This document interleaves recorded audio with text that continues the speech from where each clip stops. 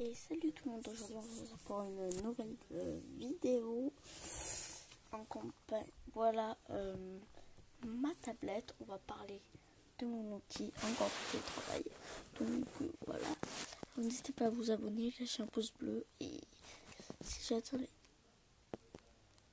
10 000 abonnés, je vous dis...